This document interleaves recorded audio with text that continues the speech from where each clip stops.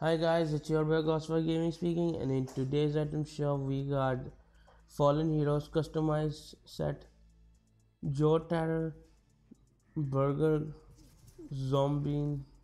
Okay, just like the customizable skins, this is also have a lot of styles.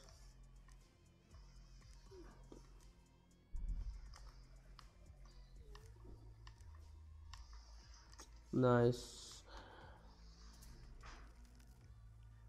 Okay, Doom Dancer, creeping along, zombie. So guys, these are all the skins. All skins, I mean, have same customizable options. So I won't be showing you the styles. Hunted hunt, hunted hunter. No, haunted hunter.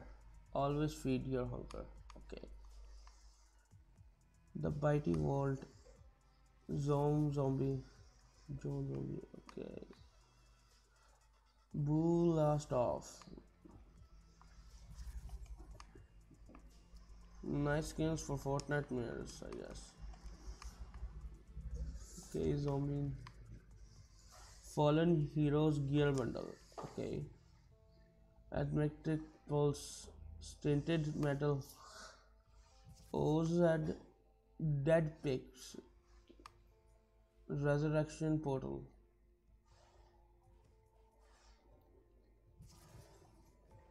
Okay. Also, we got a new emote Miracle Trick Shot. Defy gravity at a baller game.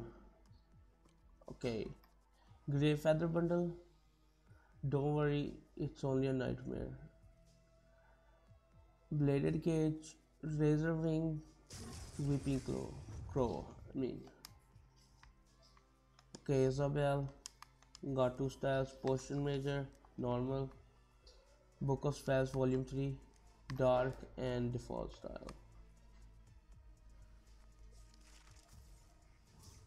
okay it's a built-in emote to change I mean styles also stuff new exo neon backbeard okay got three styles exo toxo exo midnight tail off tail on okay. Trident exo all to alter ego normally normal i mean default style.